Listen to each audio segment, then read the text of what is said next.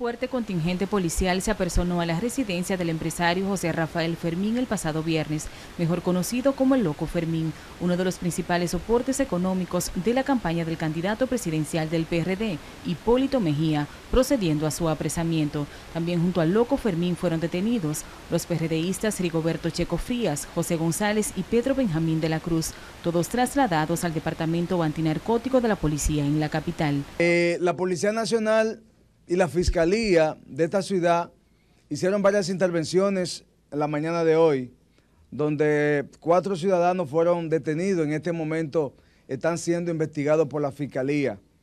Rigoberto Checo A. Frías, José Alberto González, José Rafael Fermín García, alias El Loco Fermín y Pedro Benjamín de la Cruz.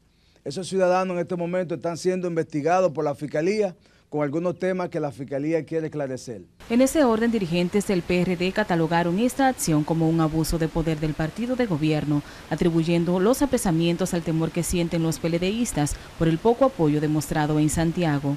Y como respuesta a eso, han querido iniciar una cacería de brujas con la persecución y la represión de los compañeros del Partido Revolucionario Dominicano.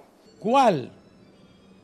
Amedrentar, tratar de asustar, porque eh, no sé si esto será ya eh, eh, una constante, pero si cada vez que viene la primera dama Santiago va a haber ese tipo de represión, entonces vamos a tener que hacer denuncia a todos los organismos internacionales de que aquí no hay un oasis este país no es un oasis, este es un país de violencia. Indicaron además que el loco Fermín había arremetido de igual forma contra la propaganda política del PLD, como PLDistas lo habían hecho contra las vallas del candidato Hipólito Mejía. Y que él respondió a esas agresiones también eh, frente a la propaganda de ellos. Y que como consecuencia de ello y como consecuencia de la intolerancia que tiene el Partido de la Liberación Dominicana y los que dirigen su campaña, eh, emplearon la fuerza pública como una acción totalmente